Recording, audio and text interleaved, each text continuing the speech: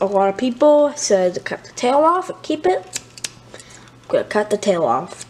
I know some of you said to get rid of it, but number one, I personally wanted to cut the tail off and keep it because I need it. It's gonna take a while for another Cuphead plush to come in the mail, and I need to do Baldi's basics, which I have a teaser of. So, yeah.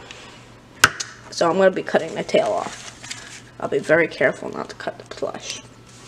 Let me set this down. Gotta cut the tail off. I need something to set this camera on so y'all can see.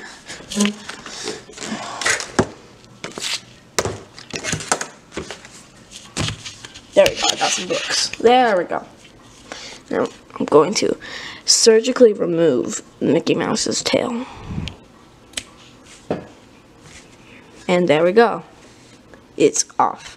Here's his tail that was on Cuphead for some reason. But there, now I have an actual Cuphead plush.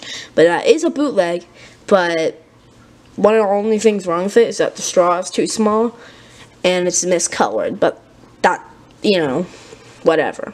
It still works. So, yeah. Tail off. Still a little bit of it on there I get. I don't want to I don't want to open up a scene, seam. I just want to try.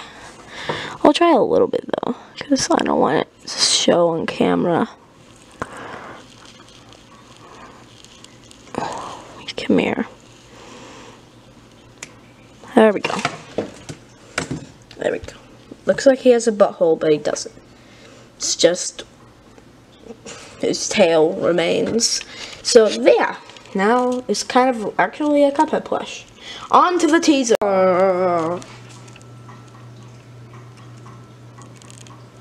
Teaser.